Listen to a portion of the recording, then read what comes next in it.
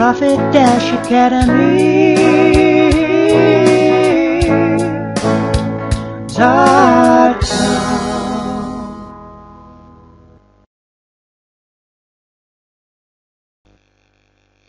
Hello there, this is Aidan again from profit-academy.com.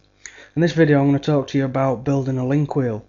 As you can see from this diagram, we've got a wheel of uh, different online properties that have got high page ranks such as Squidoo and WordPress. Now you can open uh, a free account on these websites and uh, place unique content on there and link back to your main site. So you'll be building links for your main site and taking the juice from these high PR domains. So if you if you look at these here, I mean you can add your own you know your own properties to this such as like HubPages or your WordPress MU sites which I'll show you a little bit later on. And you can uh, start to increase your rankings for any of your blog posts or maybe your main site might be an article on ezine and you're linking all these to ezine so you can get first page rankings for your ezine article. There's so many different ways you can use this system what you've got to remember is never to link back to these properties from your main site. So all you want is one-way links, but you would link the properties together, as you can see here, Weebly to Squidoo, Squidoo to WordPress, WordPress to Blogger, and so on. I mean, you don't link back. You don't, I wouldn't link at WordPress to Squidoo and then link Squidoo to WordPress because that's like a two-way link. I'd always use just one-way links all the way around and just send the link juice straight to your site. What you're doing in effect is you you're trying to drain the the link juice from the main domains, which is on these sites.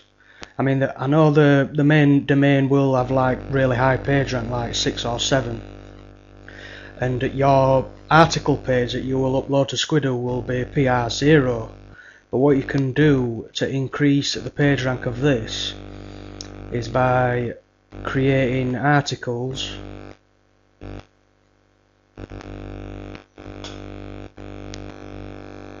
and linking these back to Squidoo. So whether I would personally use like an article submitter to make it easier, you know, article spinner and submitter in one. There are many pieces of software out there you can use, but that is how you would uh, increase the rank of your Squidoo and then take that juice onto your main site. So it's much easier to gain first page rankings on Squidoo than it would be on a new site, so you would you would uh, use Squidoo as one of your main sites to drive the traffic as well as send the juice to your main site. And that these here could be like ezine, ArticlesBase, go articles, Buzzle, and any other article directory that you can find to build backlinks to increase the page rank of each one of these. So you could do the same for Weebly.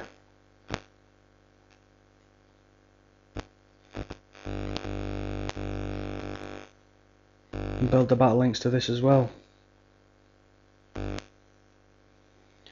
You can even add your WordPress MUs at this point, or you can put your WordPress MUs as one of your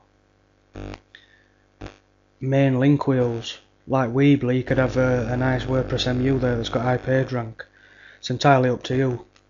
You can either put the page, the uh, WordPress MUs at this point or at this point. But either way, you're all sending link juice from these sites to your main site. And that is what it's all about. Now if you don't know what a WordPress MU site is, if you go to Google and type in in URL and your two dots and wp-signup.php it'll bring up the WordPress MUs. Now WordPress MUs are basically blogs that allow you to create a blog on a domain. So some of these domains could be high page rank and if you click on here there's like 636,000 results for uh, WordPress MUs. If you just look at this page, you just basically put in your username and your email address and then give me a blog. Then you can use that to build backlinks. But always make sure that you've got unique content on there. And if you follow this little guide, then You will you can increase search engine rankings of any page you wish.